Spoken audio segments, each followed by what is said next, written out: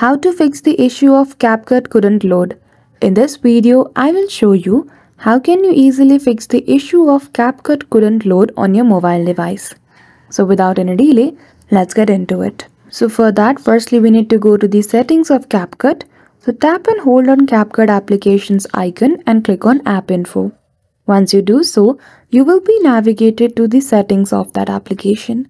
Then after click on storage and click on clear data choose the option of clear cache and then after we need to go to Google Play Store to make sure that the CapCut application available on our phone device is up to dated. So in the search bar type CapCut and if you see the option of update, do update the application. So that's it.